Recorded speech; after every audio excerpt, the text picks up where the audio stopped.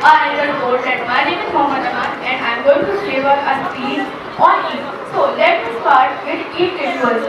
What is Eid? So Muslims celebrate their religious festival Eid every year.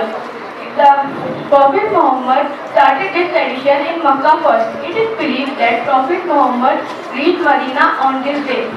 Women prepare their clothes and bangles and accessories etc. while men prepare for their traditional kurta and pajama women and girls apply mehndi on their hand beautifully similarly similarly houses are painted and decorated as well it is at ritual for prepare sweet वर्गिसरी known as sevaiyan it is prepare for the guest who come to have a hearty meal with their dear and dear ones.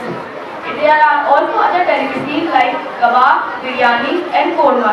Now, Eid celebrated? Eid. When the Eid arrives, everyone wakes up early in the morning. Women offer prayer at home while men go to mosque for offering the prayers as the form of namaz. Meanwhile, the food is prepared at home. After the men are done offering prayer, they embrace each other and and greet each other by saying Eid Mubarak. Now, conclusion.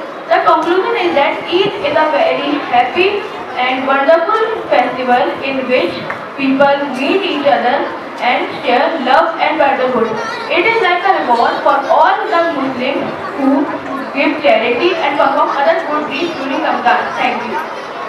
Thank you, Aman, for... Congratulations,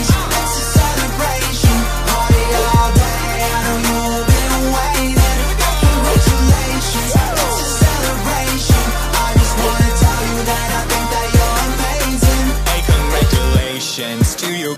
Congratulations,